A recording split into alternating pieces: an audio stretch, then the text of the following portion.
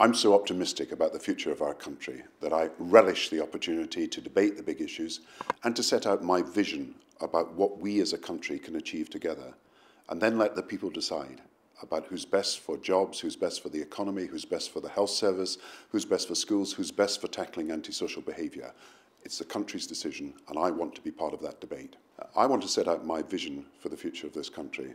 I'm so optimistic about this country's future that I want to debate the big issues and I want to show that we're best for jobs, for the health service, for the public services as a whole, for tackling anti antisocial behaviour and for dealing with the economy.